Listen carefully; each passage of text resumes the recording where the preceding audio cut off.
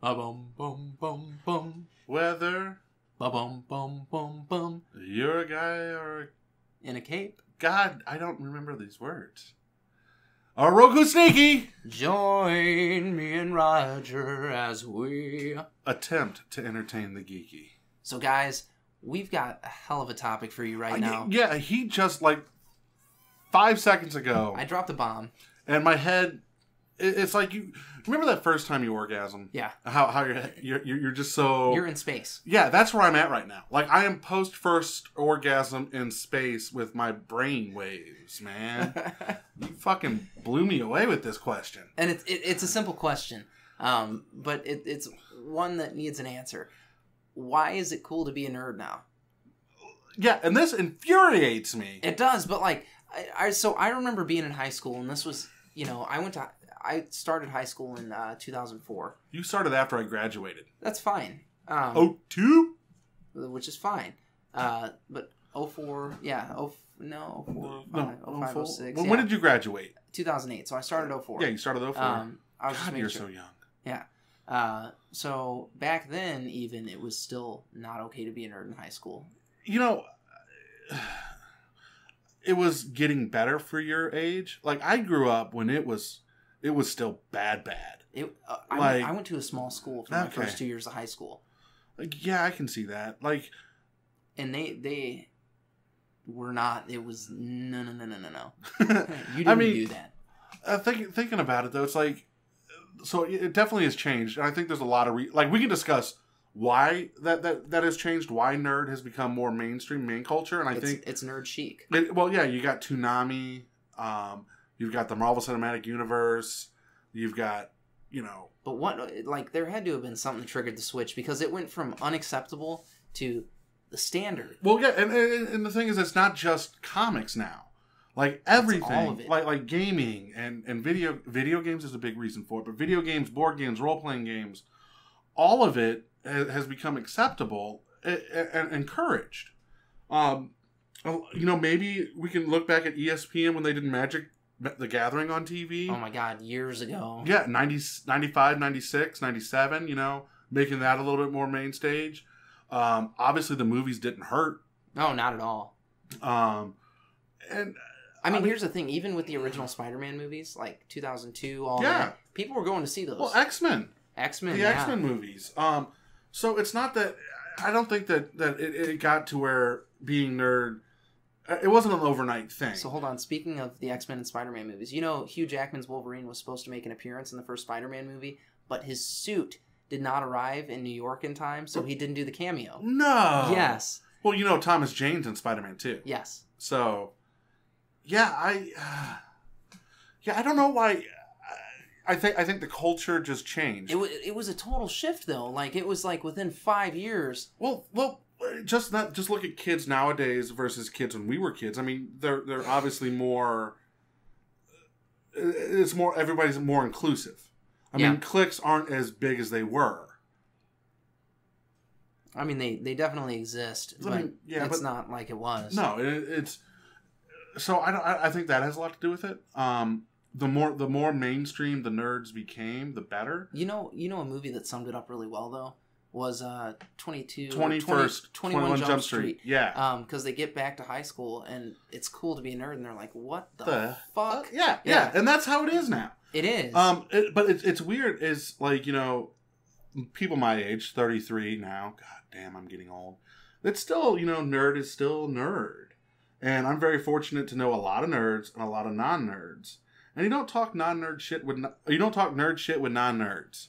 That's just the rule. You know what's funny is I do, like I've got so the the people that I grew up with and I'm very close to, like they know how I am. And Right. A lot of them, th- there's bits and pieces of what I like that they can get into, and it's I mean you know somebody for 20 years and that's what you get. Yeah. Um, Yeah. but then there's the other people that are like they'll start talking to you. They'll be like, "So did you go to watch that new Spider-Man movie?"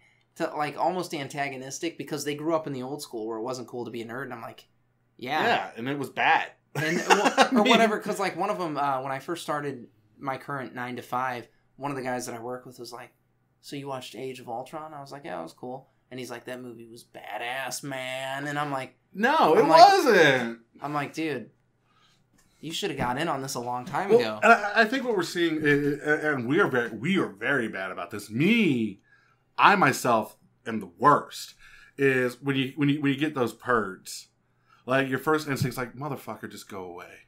You don't know shit. I had a guy do it to me at a bar and it pissed me off. Yeah, uh, but and it should piss you off, and it should also piss you off that you're doing this. That, that like it pisses me off that I have that attitude because at the end of the day, our hobby, our love, our passion is growing. Yeah.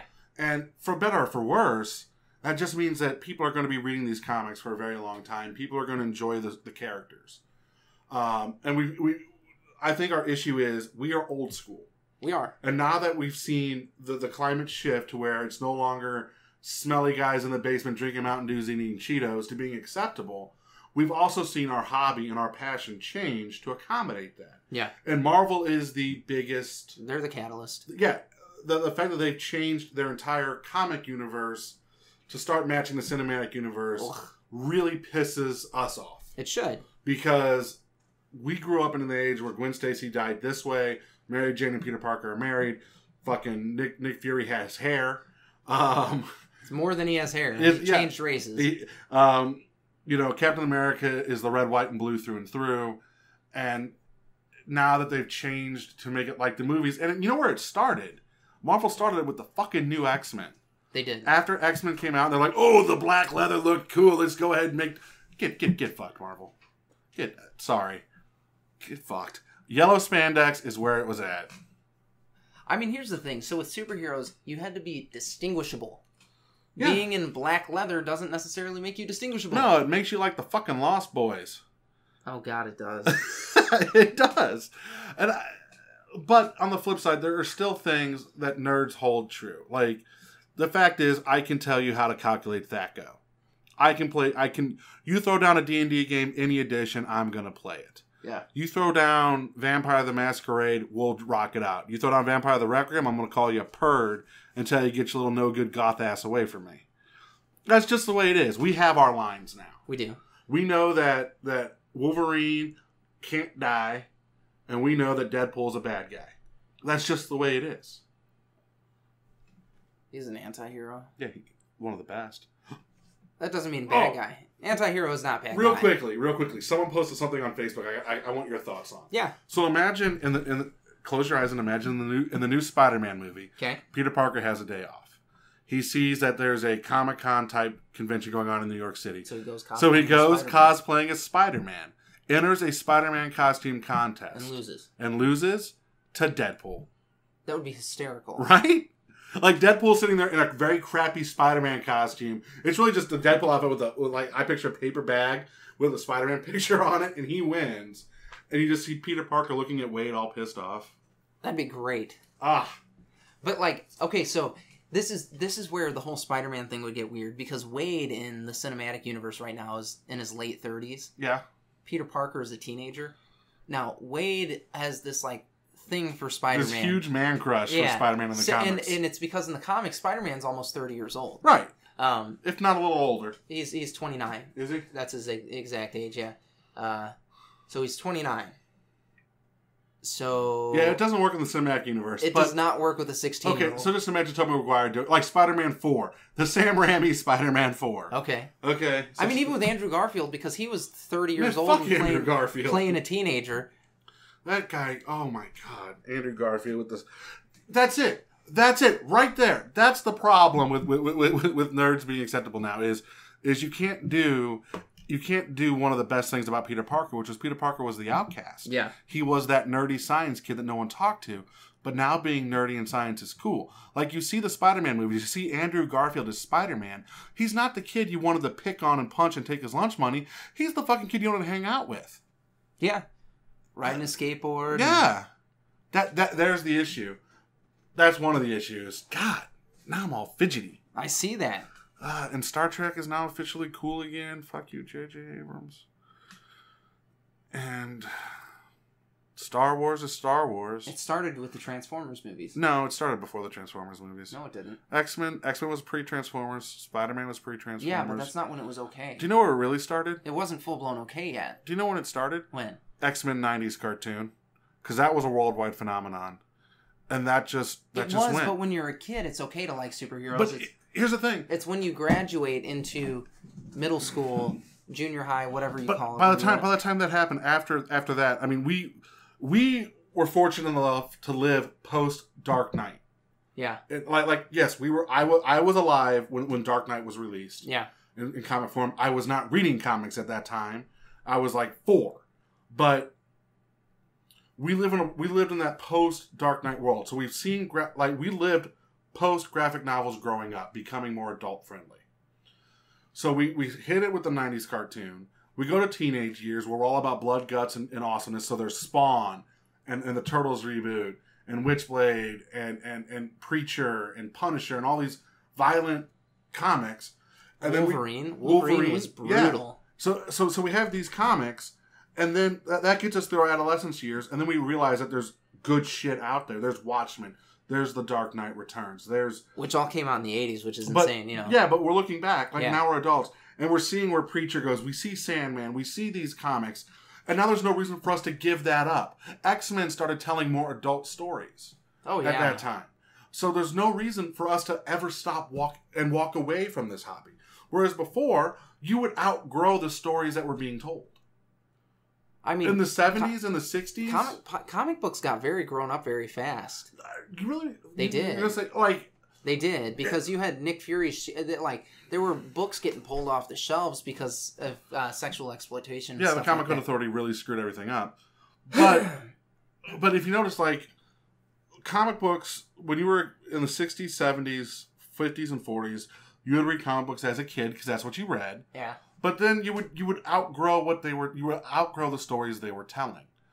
And and what happened in the 80s, 90s, and the aughts I'd was say seventies too. Seventies is when it started to happen, man. 70s it was with the horror comics and that was still that was still aimed towards kids. It wasn't a horror comics, so You had some, uh, you had some comics back then. You had you had you you did have the death of, of Gwen Stacy in the seventies, which which marks the end of innocence in comics. That really did. Like that's when comics were like, you can kill people and keep them dead. and keep them dead, and and and not just be some one off side character, but you can actually kill a main character. You killed the hero's girlfriend, yeah, and a, and a totally and, and not only killed her, it was his fault. yeah. He killed her. And and that that marked the end of age of age of innocence. But comics before then, like I said, you would just outgrow those stories. You know, it was no longer entertaining. But then in the seventies, eighties, nineties, odds, comics started going toward there, there, there were That- stories for you know, adults. That's, that's the thing, though. So even when we were, when we were kids, like little kids, and we've got these, you know, uh, Daredevil Born Again, and Yeah. all that's like crazy good storylines. Uh, you know, fuck, um, the Batman Dark Knight Returns. You've got all that, and like that was already there. Like we, there should have been like at that point, we should have seen. But I, I we were the first generation truly to be to be to grown up past that.